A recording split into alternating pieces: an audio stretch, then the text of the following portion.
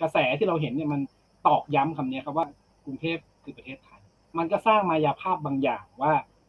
ไอการเลือกตั้งผู้ว่ากรุงเทพมันเป็นสิ่งที่ดีที่สุด มันเป็น the best มันเป็นโมเดลที่เจ๋งที่สุดแล้ว ซึ่งไม่จริง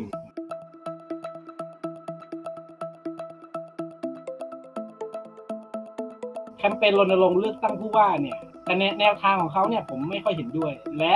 ข้อเสนอบางอย่างที่อยู่ใน change.org เนี่ยผมว่ามีปัญหามากๆ ที่ผมว่าต้องถกครับ ข้อเสนอที่หลักการมีปัญหาเนี่ยสุดท้ายแล้วเนี่ย ถ้ามาติดลมบนคนจะไม่สนใจหลักการอะคนก็จะเอาเอาแค่คนเลือกเยอะอ่าเราได้กระแสในการกระจายอำนาจแล้วเราไปกันทางนี้แล้วสุดท้ายแล้วเนี่ยมันจะกลายเป็นความชอบธรรมที่มีปัญหาอีกอะว่าเฮ้ยไม่ได้อ่านเฮ้ยมันมีเรื่องนี้ด้วยฉันไม่ได้สนใจควรจะมาตั้งมานั่งเถียงกันนะถ้าไม่เป็นได้เนี่ย เอาเรามีเวทีคุยกันทั้งทั้งฝ่ายแบบส่วนแบบหนึ่งกับอีกแบบหนึ่งซิว่าว่ามันจะเป็นยังไงในสมมติว่าก็ไม่ผิดที่จะรณรงค์กัน แต่ว่ามันก็ไม่ถูกที่จะคุยกันโดยที่แบบไม่ได้ลงไปที่หลักการมันจริงๆจังปัญหาคืออะไรนะครับ เดี๋ยวผมลองขอลองเปิดประเด็นดูนะครับ ผมว่ามีประเด็นอยู่สองสามประเด็นที่อาจจะต้อง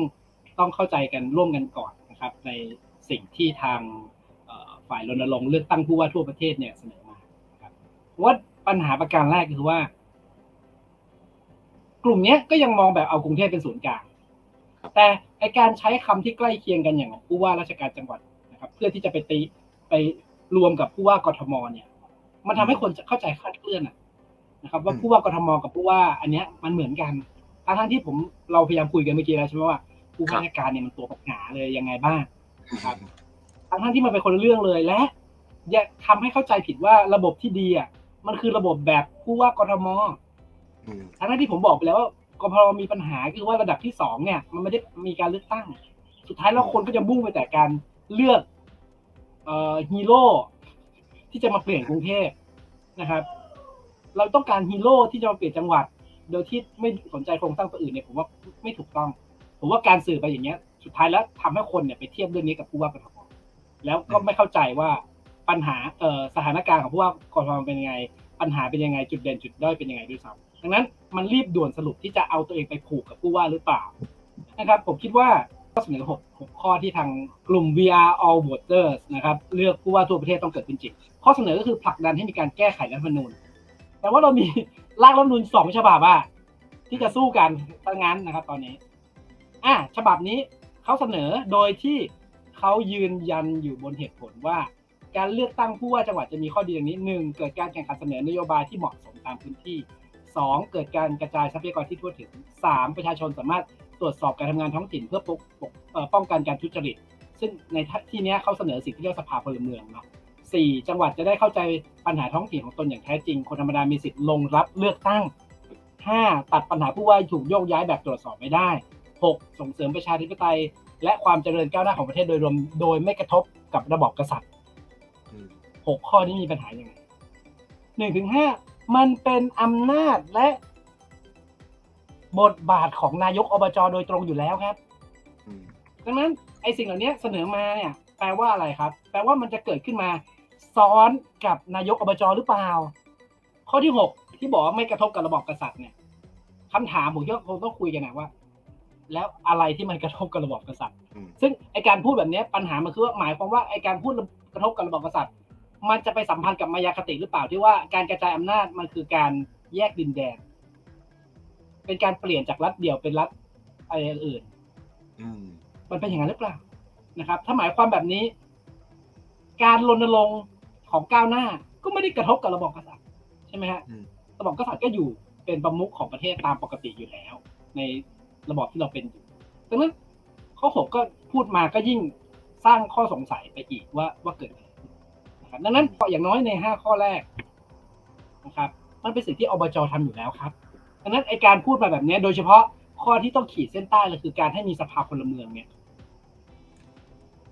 ผมเข้าใจว่าเขาต้องการที่จะแก้บั๊กว่าผู้ว่าไม่มีคนตรวจสอบเมื่อกี้ที่ผมบอกใช่ไหมว่าผู้ว่าราชการจังหวัดไม่มีสภาเลยดังนั้นเขาเสนอสภาพลเมืองก็อบจมีสภาอบจอยู่แล้วไงครับนะคุณจะเสนอมาซ้อนทำไมโอเค สุดท้ายแล้ว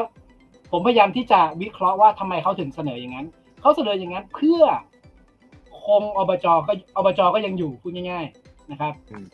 ท้องถิ่นก็ยังอยู่ แล้วก็มีโครงสร้างใหม่ขึ้นมาก็คือผู้ว่าราชการจังหวัด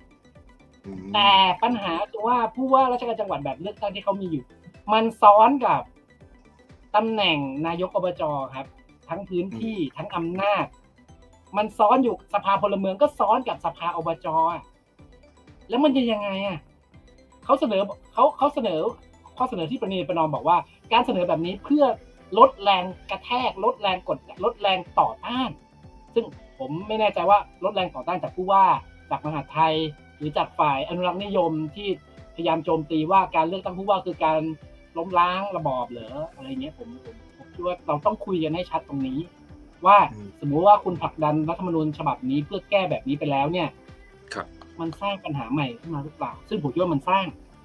อืมนะครับ ตัวอย่างสำคัญที่สุดก็คือการที่คอสชตั้งสิ่งที่เรียกว่าศึกษาธิการจังหวัดศึกษาธิการอำเภอและศึกษาธิการภาคขึ้นมา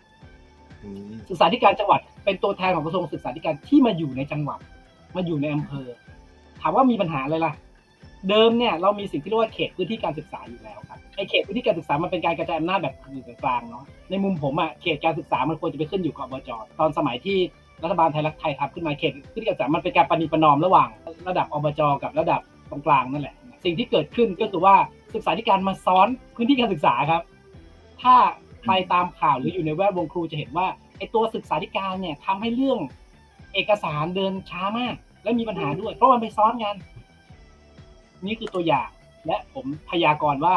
ถ้าผู้ว่าเลือกตั้งเกิดขึ้นซ้อนกับนายกอบจมันจะเกิดปัญหานี้ขึ้น และมันจะเกิดเทนมันจะเกิดความตึงเครียดระหว่างผู้ว่ากับนายกอบจครับ เพราะมันซ้อนกันอืมและก็ทำให้ปัญหาการพัฒนาเมืองมีปัญหาขึ้นมาอีก อันเนี้ยผมว่าเป็นเรื่องใหญ่ที่ผมคิดว่ามันเป็นการแก้ปัญหาด้วยการสร้างปัญหาใหม่ โดยที่เขาไม่รู้ตัวนะเขาไม่รู้ตัวว่าจะเกิดปัญหาใหม่ขึ้นโดยที่พยายามจะมองว่าแก้ไปก่อนนะครับ แก้แก้ให้มันอย่างน้อยให้ผู้ว่ามันหมดอำนาจไปก่อนแล้วค่อยไปอย่างนั้นอย่างนี้อย่างเงี้ยซึ่งซึ่งผมไม่เห็นด้วยกับวิธีการแบบ